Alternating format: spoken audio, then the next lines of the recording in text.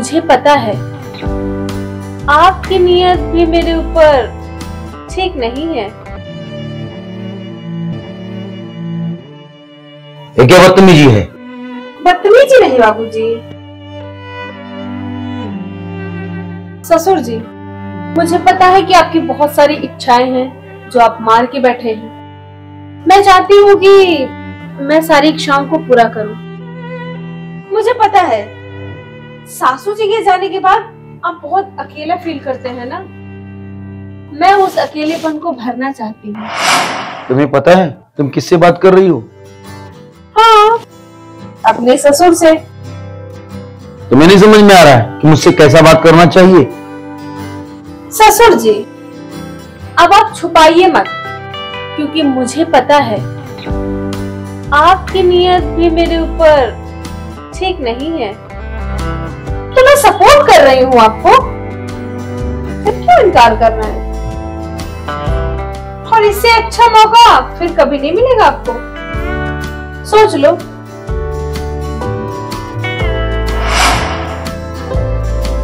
हाथ दो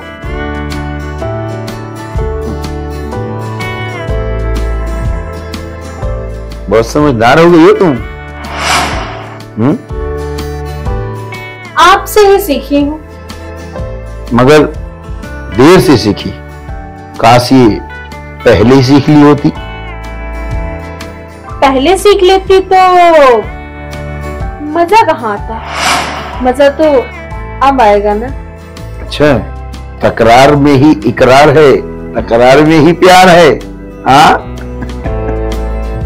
मगर एक बात ध्यान देना ये बात हमारे पति को नहीं पता चलना चाहिए। ससुर जी।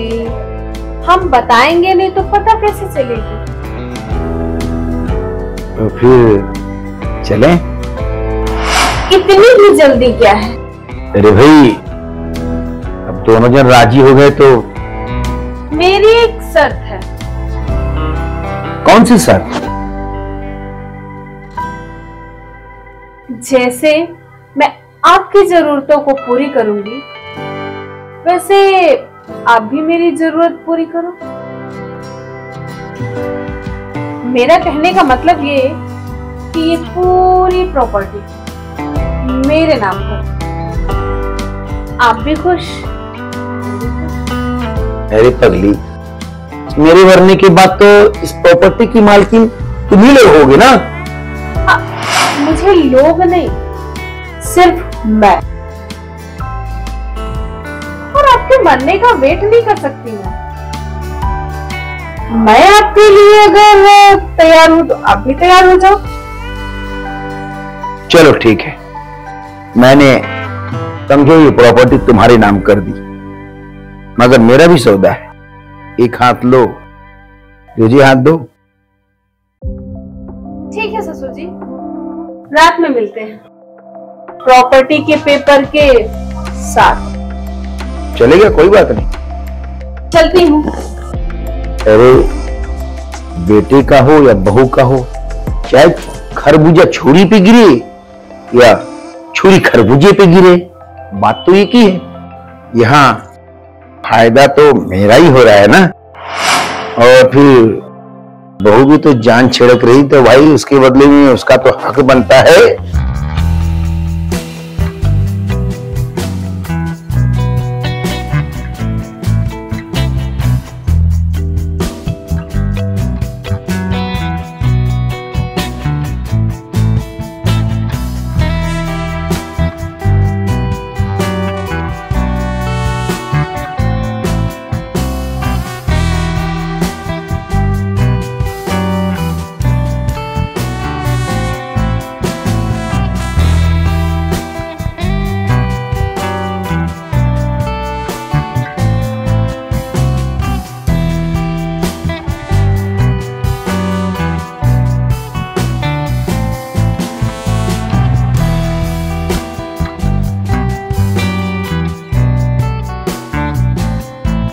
वादे के मुताबिक मैं प्रॉपर्टी का पेपर ले आया।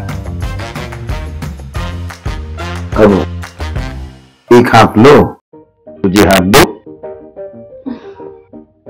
जी हम्म, हम्म, ठीक है। मैं भी वादे की पक्की हूँ। तो चलो।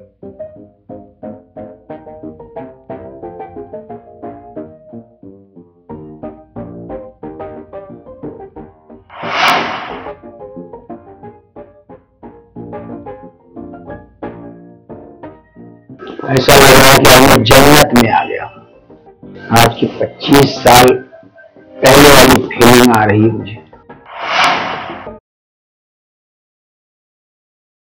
काश मैं तुम्हारी बात पहले मान लिया होता।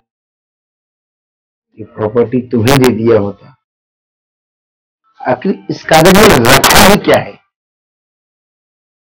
जो चीज़ में है, वो किसी में नहीं।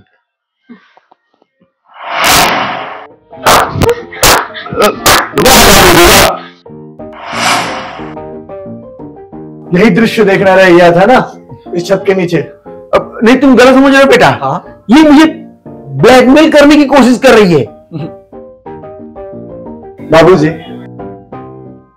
जो खेल आप खेल रहे हैं ना उसके कैप्टन हम हैं। ये सब मेरा बनाया हुआ गेम है। मेरे कहने के बाद ही आपके पास गई है। ये जब पहले मुझसे बताई थी ना तो मुझे विश्वास नहीं हुआ। और सिर्फ़ इसलिए मुझे आपको रंगे हाथों पकड़ना था। और सच कहू ना तो मुझे अभी भरोसा नहीं हो रहा है। जी मुझे शर्म आती है सोच कर देखिए मैं आपका बेटा हूँ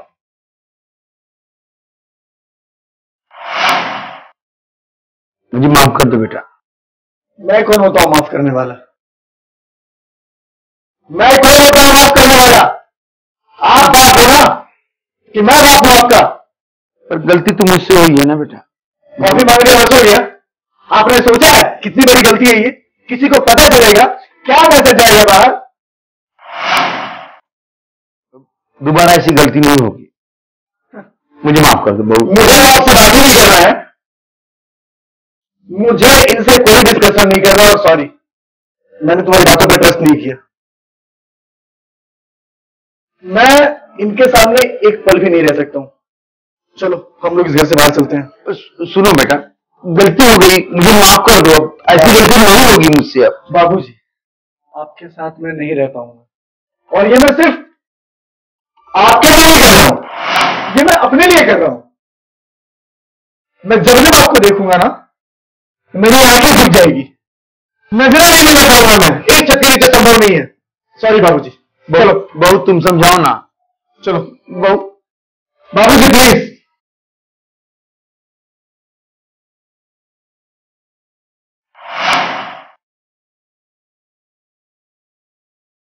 हौस के आग में मैं इतना बह गया था कि मैं अपना पराया भूल गया। आज उसका परिणाम ये हुआ कि अब मेरा ही बेटा मेरा साथ छोड़कर चला गया। एक बुढ़ापे का सहारा था,